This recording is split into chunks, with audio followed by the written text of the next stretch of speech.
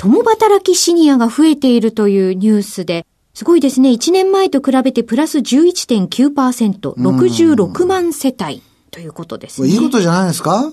まあ元気なんですもんね。うん、それだって、お互いに家にいてね、顔見合わせてたってろくなことないですよ。だって喧嘩するに決まってんだから、そんなもん。そうですか。それで収入もあるわけだし、出てくるわけだし、働き口があってね、若い頃に培った知識とかね、いっぱい出すとかありますよ。はいで、日本の昔ってね、ご老人は家にいてって言うけど、それいろいろ仕事してたわけですよね。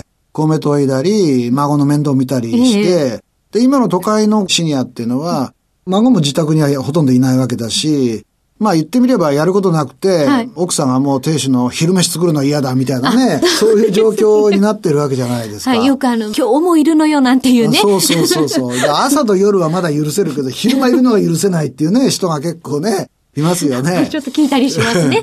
だからそういう意味では、まあいろいろな理由はあるんでしょうけどね。やっぱりね、日本人はね、働くこと好きなので、そうですね。うん基本的にはそうですね。参加してたいってことがあるので、私はね、働くチャンスがあったらいつでも働きになったら、それなりきに評価してもらい、それなりきにペイがあるんだったら、お働きになった方がいいのかなと、健康のためにもね。そうですね。社会参加してるっていうだけでも、こう、若々しくいられるような気がしますよね。うんまあ理想は PPK なのでね、家でなんか何もしないよりはいいと思いますよね。